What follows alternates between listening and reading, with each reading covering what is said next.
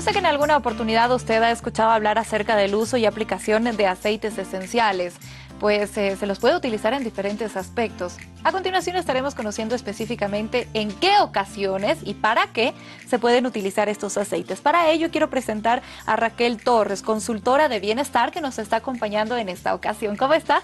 Buenas noches, bienvenida. ¿Cómo estás? Bienvenida y muchas gracias a su programa y a todos ustedes por haberme invitado a explicar más que nada todo, todo lo que es, digamos, los aceites esenciales y para qué nos sirven y los usos y las aplicaciones, ¿no? ¿Y para qué nos sirven? ¿Cómo se aplica? ¿De qué manera se puede utilizar? Porque son varios aspectos en los cuales se puede utilizar. Exacto. Eh, por ejemplo, se pueden utilizar de forma aromática, también de forma interna y de forma tópica, ¿no?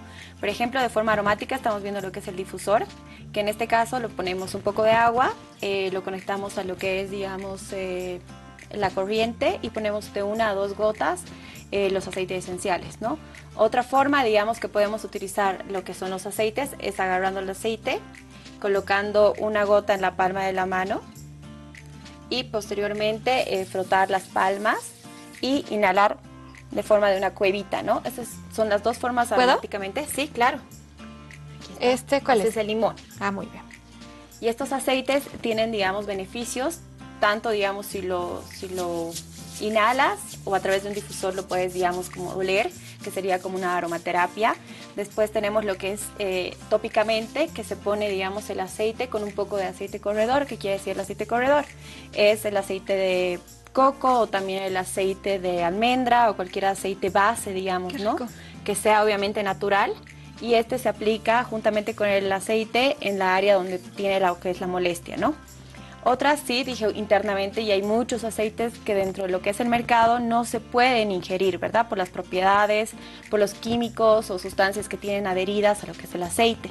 Esto este aceite, digamos, al ser grado de puro terapéutico, sí se lo puede tomar, sí se puede, digamos, consumir y se puede consumir ya sea en batidos, como también se puede cocinar con ellos y también se puede colocar en lo que es una, en un agua, digamos, ¿no? Por ejemplo, el limón lo podemos utilizar tanto aromáticamente como también es muy bueno para, por ejemplo, las manchas en la piel, tópicamente, e internamente. ¿Y cómo se aplica en la piel, por ejemplo? En la piel, por ejemplo, se puede utilizar solamente en la noche porque el limón es fotosensible. ¿Solo utilizando esto o hay no, que mezclarlo con algo? Que, ajá, se recomienda de que siempre se tiene que diluir con algún aceite base porque estos aceites son bastante puros y al ser solamente esencia, eh, llegan a tener, digamos, eh, provocarte un poco de irritación a las pieles muy sensibles, ¿no? Entonces hay aceite, por ejemplo, como la menta, que es bastante potente y fuerte, entonces se recomienda hacerlo con algún aceite base. ¿Qué tipo de aceite base sería el Eh, adecuado el para adecuado aplicar esto en lo que es la piel? Exacto. El adecuado puede ser un aceite de coco virgen, ya. tanto líquido como eh, sólido. También puede ser el aceite de almendras, también puede ser el aceite de oliva, también es muy bueno.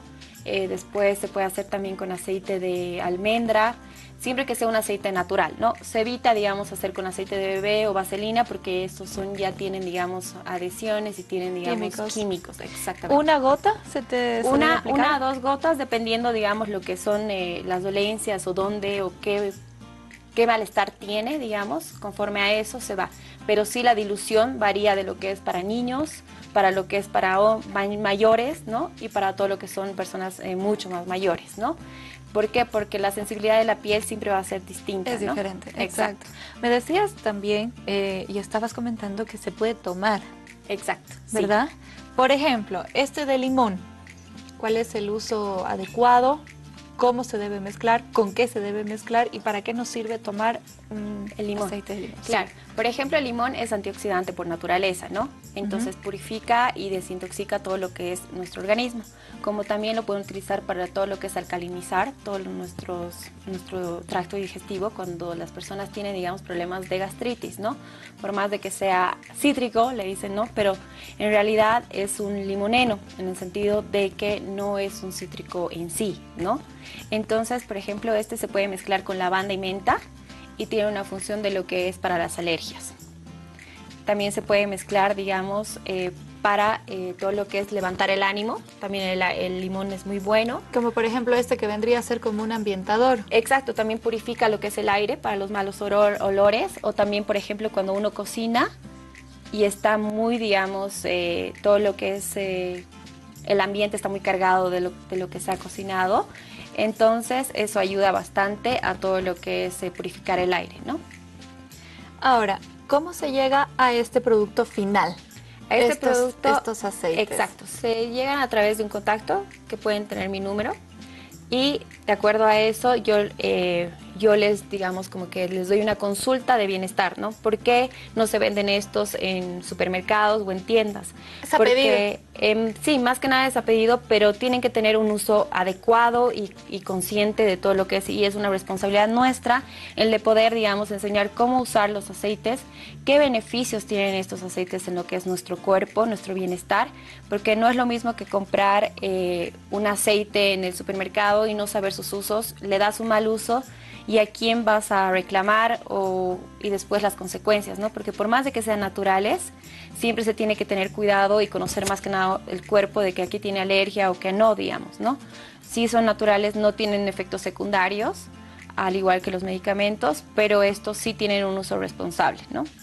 Y el producto final, ¿cuánto tiempo, por ejemplo, se demora en hacer, eh, en tener este producto, este tipo de aceites? ¿Cómo se lo obtiene? ¿De dónde? ¿Cuál es el proceso? Eh, por ejemplo, el proceso de estos aceites son extraídos desde el lugar donde provienen. Por ejemplo, la lavanda la extraen desde Francia o Bulgaria, la menta es de Estados Unidos, eh, lo que es el incienso de Somalia, y son extraídos de forma fría, ¿no? Porque si los extraen de forma caliente, obviamente las propiedades de todo el aceite al hacer un químico volátil se se van, ¿no? Entonces ya no sería, digamos, un aceite esencial con todos sus beneficios y propiedades. Este se extrae de manera fría, en compresas frías, en prensado frío, para obtener todo lo que es el aceite esencial, de ya sea de frutos, de cortezas, de especies, eh, que se puedan, digamos, ¿no? extraer. ¿Es un proceso largo? Eh, sí, es un proceso largo. Porque, por ejemplo, se necesitan como 28 y eso, incluso muchísimos más, como unos ciento y tantos, digamos, pétalos ya sea de rosas, incluso miles, para lograr todo lo que es un ml, ¿no? De lo que es una gota de aceite esencial. Son bastante concentrados, por eso es que la esencia de cada planta. ¿Qué significa extraer de forma fría?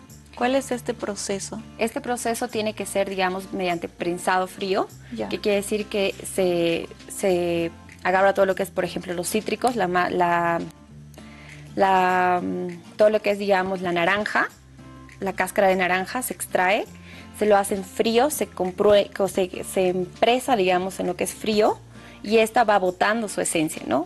Pero si ah. nosotros lo hacemos, digamos, de forma caliente, esta se evapora.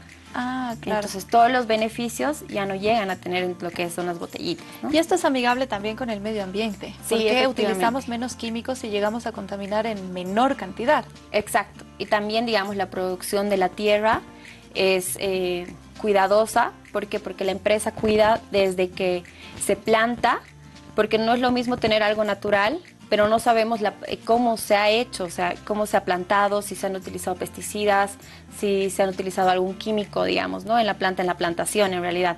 No se tiene que cuidar que sea algo orgánico sin tener, digamos, explotación sobre la tierra y sí tener, digamos, dentro de lo que son, eh, para obtener sus propiedades, la planta tiene que crecer naturalmente y sin ningún pesticida, sin ningún químico en realidad, ¿no?